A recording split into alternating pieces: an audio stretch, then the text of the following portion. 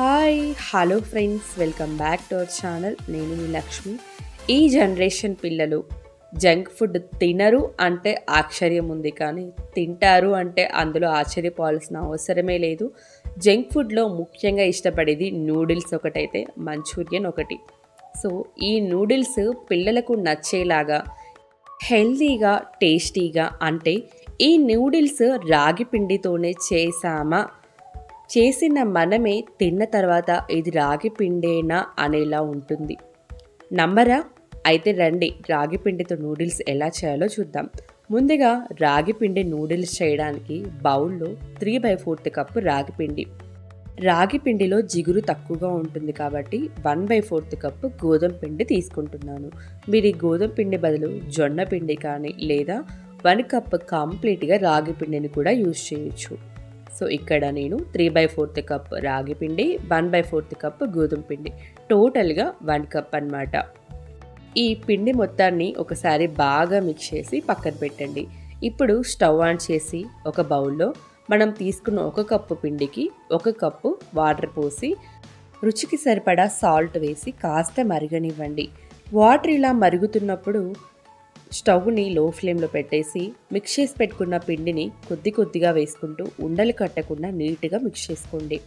ఇలా మిక్స్ చేసిన తర్వాత స్టవ్ ఆఫ్ చేసి ప్లేట్తో క్లోజ్ చేసి గోరువెచ్చగా అయ్యేంత వరకు చల్లారనివ్వండి. చేతితో తాకగలిగిన వేడి ఉన్నప్పుడు ఇలా ప్లేట్లోకి వేసుకొని చేతికి నెయ్యి లేదా నూనెను అప్లై చేసుకొని పిండి మొత్తాన్ని బాగా ఒత్తుకుంటూ మర్దన చేయండి. ఇలా బాగా ఒత్తుకుంటూ కలపడం వల్ల పిండిలో జిగురు అనేది ఫామ్ అయ్యి మనకు నూడిల్స్ అనేవి పర్ఫెక్ట్గా వస్తాయి. పిండి మొత్తాన్ని బాగా ఒత్తుకుంటూ ఇలా ముద్దలాగా చేయాలి. ఇప్పుడు మురుకుల గొట్టానికి చిన్న రంధ్రాలు ఉన్న ప్లేట్ పెట్టి ఆయిల్ అప్లై చేయండి.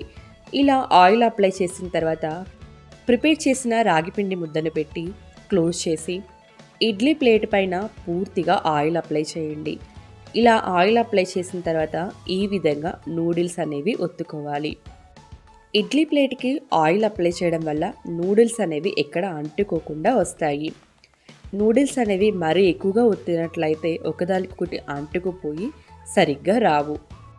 ఇప్పుడు ఇడ్లీ పాత్రలో ఒక కప్పు వాటర్ వేసి ఈ నూడిల్స్ని పదహైదు నిమిషాల పాటు లో టు మీడియం ఫ్లేమ్ అడ్జస్ట్ చేసుకుంటూ ఉడికించండి. ఇలా ఉడికించిన నూడిల్స్ని పూర్తిగా చల్లారనివ్వండి. చల్లారాక ఇలా నీట్గా సపరేట్ చేయండి. ఇప్పుడు స్టవ్ ఆన్ చేసి కడాయిలో ఒక టూ టేబుల్ స్పూన్స్ ఆయిల్ వేసి నిలువుగా కట్ చేసి పెట్టుకున్న ఉల్లిపాయ ముక్కలు సన్నగా తరిగిన క్యాప్సికమ్ తరిగి పెట్టిన పచ్చిమిర్చి సన్నగా తరిగిన క్యారెట్ ముక్కలు సన్నగా తరిగిన క్యాబేజ్ ముక్కలు వేసి హై ఫ్లేమ్ మీద కాస్త మెత్తబడేంత వరకు ఫ్రై చేయండి. ఇందులోనే రుచికి సరిపడా సాల్ట్ కూడా వేయండి. ఇందులో ఒక టేబుల్ స్పూన్ సోయా సాస్ అలాగే ఉడికించి పెట్టుకున్న రాగి నూడిల్స్ని వేసి ఇక్కడ నేను నూడిల్స్లో ఎటువంటి కారం మసాలాలు అనేది వేయట్లేదండి. మనకు అన్ని సూపర్ మార్కెట్లో అవైలబుల్ ఉండేలాగా ఇక్కడ నేను కిచెన్ స్టార్ నూడిల్స్ మసాలాని యూజ్ చేస్తున్నాను. మీకు ఫోటో అనేది స్క్రీన్ మీద డిస్ప్లే అవుతూ ఉంటుంది చూడండి. ఇలా మసాలా వేసిన తర్వాత గరిటతో కింద నుండి మిక్స్ చేయండి. లేదంటే ఎక్కువగా ముక్కలుగా విరుగుతాయి. ఇలా బాగా మిక్స్ చేసి పిల్లలకు వడ్డించండి. మనము వేసింది మైదా కాదు కదా కాస్త ముక్కలుగా విరగడం సహజం. మనం చేయడానికి చాలా సింపుల్గా ఉంది కదా. పిల్లలు ఈసారి నూడిల్స్ అడిగినప్పుడు ఇలా చెయ్యండి.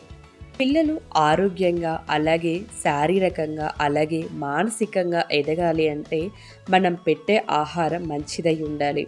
సో జంక్ ఫుడ్ నుండి దూరంగా ఉంచడానికి ఇంట్లో ఉన్న వాటితోనే ఇలా హెల్తీగా ట్రై చేయండి. మీకు ఈ రెసిపీ నచ్చినట్లయితే లైక్ చేయడం మాత్రం మర్చిపోవద్దు. తప్పకుండా ట్రై చేయండి. మీకు ఎలా కుదిరిందో కామెంట్ సెక్షన్ ద్వారా తెలియచేయండి. Thank you for watching. Bye అండి.